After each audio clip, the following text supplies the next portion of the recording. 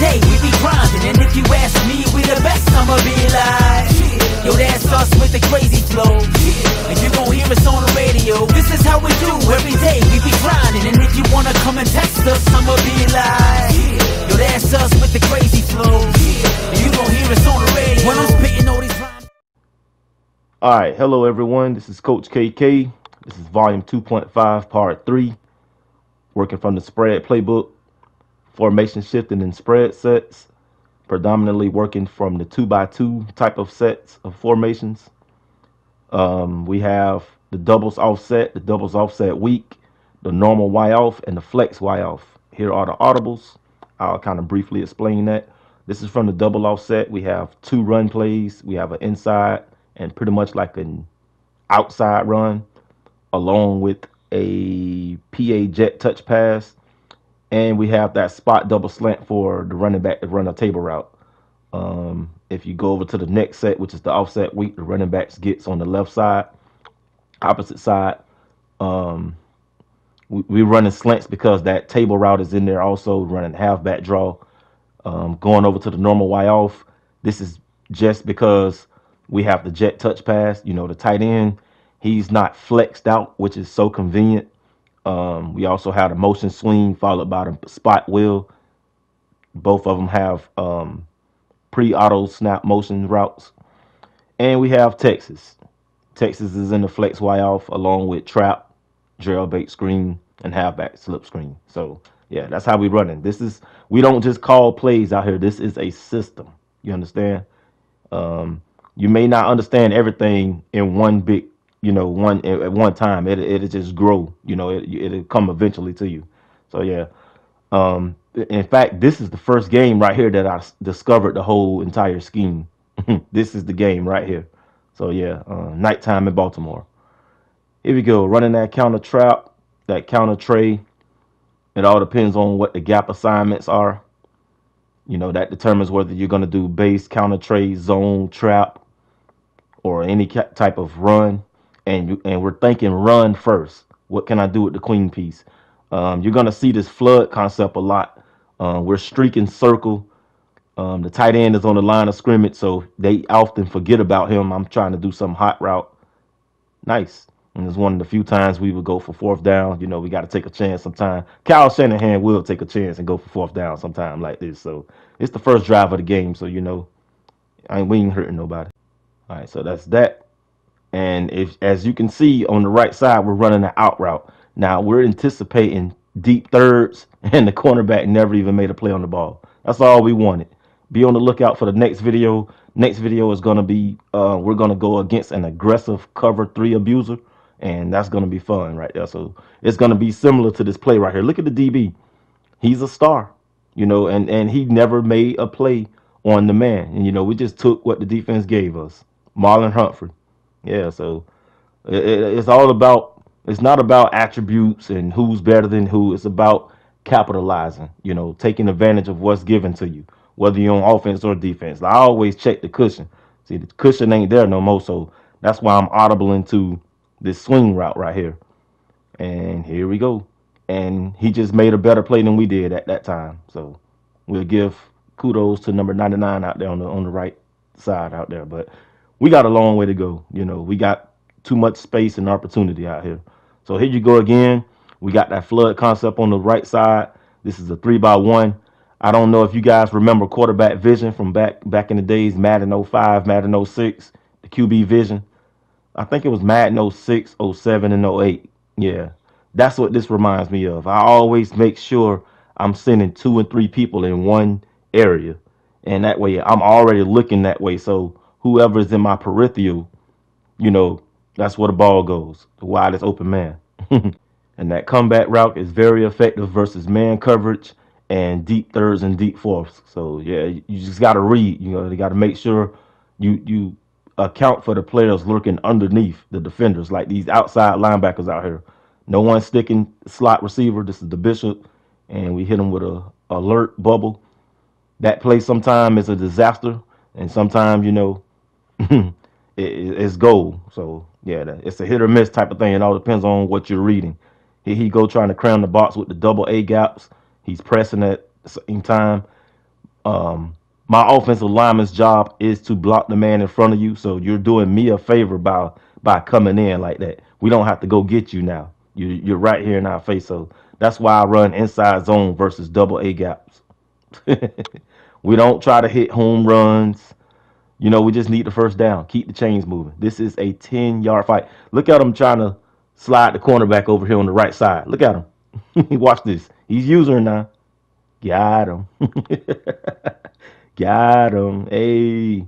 Yeah, man. You can't be out here trying to trying to be slick. He gonna manually put the user inside so he can get a two-way streak. Now I probably could have hit that streak route on him with circle. I got a step on him, but you know, we just playing it safe and conservative. Got a QB spot there. I see you. And that was just a nice read. That's the flood concept. You know, we did a we did a, a deep out route, eh, which comes out late so late from you know the tight end because he's on the line of scrimmage and he's not flexed out. So yeah, that's that. Lamar Jackson out here throwing picks. We appreciate you. And like I say, this was the first game I discovered this scheme right here. I had to put this out one time. So yeah, that's how that goes. So um I don't know if you guys noticed, but these guys give you the, the, the cover three look, the triangle look so much versus this. And yeah, I face cover three so much. Look at that. Look at that trap. Slow motion. Slow motion from it. Uh. yeah, man. Well, I know I kind of make it look easy sometimes. You know, I face adversity at times also. So yeah, just just know that part. So yeah, this guy right here, he went from one high safety to two high safeties. Really, you don't really get to start the run with the two high safeties. You need that extra support. So, and he's jamming in, trying to cheat in with the cornerback is again. That's funny. Tried to throw a little bubble alert screen. It didn't work out. It's all good. We keep it moving. You know, we got plenty of downs, plenty of more chances. So here we go trying to run Texas. Well, actually, the the wide side of the field is to the right, so that's why I'm running the flat right here. It, it, the flat route look better right now, and it, it all depends on what the cornerback is doing out there. So they played everything. Nice, nice. We give them credit for that. First incomplete pass. Um, here we go once again. We saw where he was. That sometimes you got to do a play just to check and see where they're using that. Here we go on top of the cloud, and there's no sky. he brought the sky down. He's he's the sky, you know, on top of the cloud, under the sky. But he's the sky because he's so concerned about Texas. that Texas is so effective. So yeah, that's Texas and flood is pretty much the bread and butter of of this whole entire scheme and then you know you got other hot routes and stuff that'll throw them off. So that's that. This is um this is the next drive. I I, did, I just kind of trimmed through everything and wanted to get down to the nitty gritty of how this game ended. He didn't last that long because we was just too technical for him, too advanced for him and stuff. And we moving. Nice little screen pass to Raheem Mostert. Let's go. First down. Yeah, like I'm 12 for 13, two TDs. I really haven't made any mistakes on offense, and he's relentless in cover three, and that's what happened right there. He's out of here. yeah, you're gonna get that. All you got to do sometimes consistency is the key. You come out here and show these guys you're not playing, and it's aggravating. You know when you when somebody going down the field, 15 play drives, and then you know they go get seven or three, and but then when they get on offense, two plays they throwing picks like this you know, that can be aggravating and devastating. So, yeah, I don't know. They need help. so, yeah, that was me right there with the user pick versus America's team. This is the first drive on offense for me. Here we go. Just same concept. The guy's cheating in with his DBs. It's the same thing. We're running flood. That that's usually my first go-to type of play. What could we do with the queen piece on the chessboard? You know, the king and the queen, running back, quarterback and then followed by the knights and the bishops and the rooks. So yeah, that's how I always see it. What could we do with the queen piece? So it's the same thing, and it all depends on you know the side, the, the field side or the boundary. Like right here, we're on the boundary side, so we don't have all that space to go with the flood. Nice, nice little Texas. See, see what we're doing to him? It's it's early. We got him jamming in. He's so concerned about the running back that he could forget about everything else. And look, everybody just running into it. Looked like we're we're bowling out here. oh yeah, gotta love it. Jet touch pass. It looked like we are out here bowling. So yeah, use these pawn pieces to your advantage. Come on, man, y'all. Let me know what's up. What's up with the chess analogy? Do you like it? Can you dig it? Are you starting to feel it? You know, this thing looks just like chess to me. This ain't checkers out here. This is chess. You know, every move counts. So we out here still running the flood concept. I'm I'm anticipating cover two. I'm anticipating for the DBs to stop, and we got a two on one streak out here. Phew.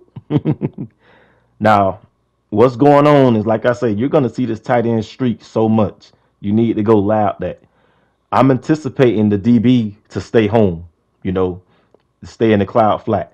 And I could have went to circle or X, but he had he had a better leverage on circle. So I that's why I went to X. You know, if I'd have went to circle, I would have had to kind of pin it over the top in the corner, and I didn't want to take that risky chance. So yeah, that's how we get seven like that. And then Kittle is like six two, and I threw a high pass. So yeah. Inside, it's all about having inside leverage. Inside, inside, inside.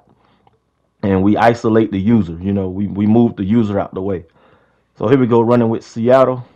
Seahawks, one of my other favorite little teams to run the scheme with. They have a lot of speed on offense. And that's what we're all about is speed. Nice. Carson. Inside zone. And something I noticed last game, well, last video I meant, something I noticed is you you're gonna get your hundred yards on the ground with this scheme because for one thing, this is um this is the three wide receiver personnel, so they're gonna be in nickel, dime, and quarter.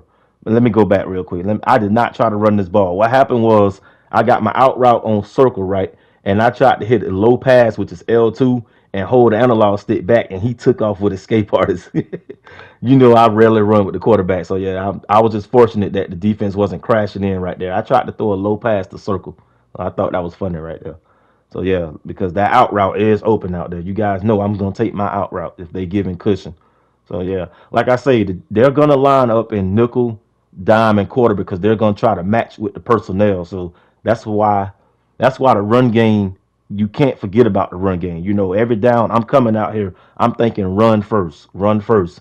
And then my mind, if if all the running plays are shut down pre-snap, then I'm thinking, you know, let's go with the out routes. Let's go with the flood concept on the right side. You guys gonna like this right here. Watch this. I'm thinking cover two, and we split them. Man, look at here. Now I had a little bit of luck on my side. I'm not just gonna say that was skill. That was well timed. We'll give them that. That was well timed. And I was just trying to get in between the safeties and the DBs, you know, the, the cornerbacks and the safety. So that's how we got that off. But still, we're sticking to the core principles of the offense and the strategy. So, yeah. That was that. We got Jones rolling out. I don't know what he's doing. He can't see. Ah, give me that. As you guys can see, I'm up 14-6. Um, I haven't made any mistakes out here, so that that's that's two turnovers, and that's how that goes. So yeah, I'm I'm thinking, what can I run first? Which way can I run first? And then my mind elevates to the passing concepts. Nice, Everett caught him slipping. Out here playing duck duck goose on him. oh yeah. Um. I, I want to give this guy credit right here. Look at we got the wide side. We're running the swing route, right? And I see him cheating over. Now, I'm giving him credit for not because I'm audibling and, and he's not moving off of his square. Notice he's still over there as a user on the left side of the field. And what I did was did the swing route, but I did a pass, you know, the spot wheel, just like um, that one scheme we have from the gun split slot and the slot offset. You know, when we do the motion and then we um, send the slot receiver on a slant. yeah, so I gave him credit for that, but I still ended up winning that down. You know, you got to win the down sometime. That's how I, I every down it's something to win. You know, it's a 10 yard fight all over the board. So yeah, this guy, he's he's still giving cushion. He's still in the little triangle look. He's trying to disguise himself, and we don't know where he's at. Blah blah. we're running Texas. We're running flood. We got the out routes. That's the cushion right there on the right side and he's all over the place. You know, I feel sorry for him a little bit. yeah, that's how that thing go, man. So Yeah, like I say, the main focal point of the whole scheme, guys, is to have your playbook out here on the field. You know, you want to make sure you optimize everything. You don't want to be out here calling timeout because you don't have this play. Ooh, look at that one cut. Yeah, you don't want to be calling timeout because you don't have certain plays. Look at this one cut. That's the skill. It's the small stuff that makes the difference. You got to do the little things right out here. All right, y'all. This is Coach KK. He couldn't take it no more. We we hitting him with too many skills and user techniques. I'm out, y'all. Stay tuned for the next one. Get at me in the comments. This is how we do it every day. We be grinding, and if you ask me, we the best. I'ma be like, Yo, that's us with the crazy flow. And you gon' hear us on the radio. This is how we do every day. We be grinding. And if you wanna come and test us, I'ma be live. Yo, that's us with the crazy flow. And you gon' hear us on the radio. When I'm spitting all these rhymes.